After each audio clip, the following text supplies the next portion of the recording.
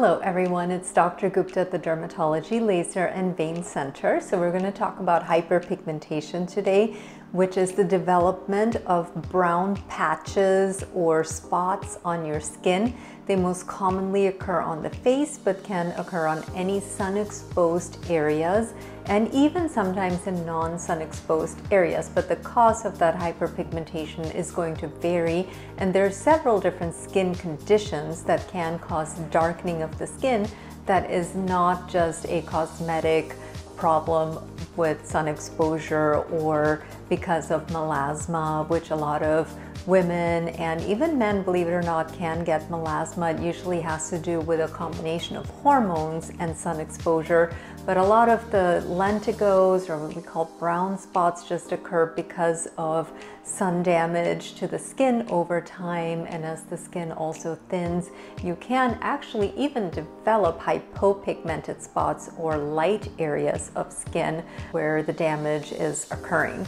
Other causes of hyperpigmentation could be various skin rashes and other kinds of skin diseases. But today we're just talking about the cosmetic treatment and the cosmetic handling of pigmented lesions that are just super annoying.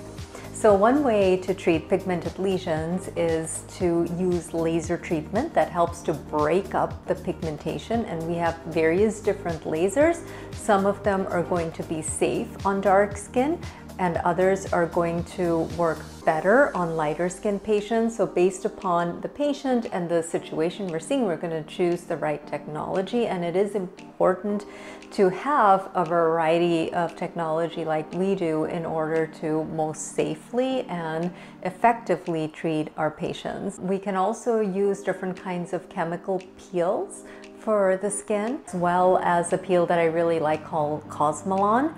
And of course, you can use topicals at home as well to help prevent hyperpigmentation. So these are usually like retinoids, and then we use things like kojic acid, azelaic acid, niacinamide, glycolic acid, antioxidants like vitamin C are extremely helpful to protect your skin from sun exposure damage and can also help to reduce the pigmentation. So that's a bit about hyperpigmentation and how we can disrupt the hyperpigmentation and help you look a lot clearer and more confident. Thank you so much for watching.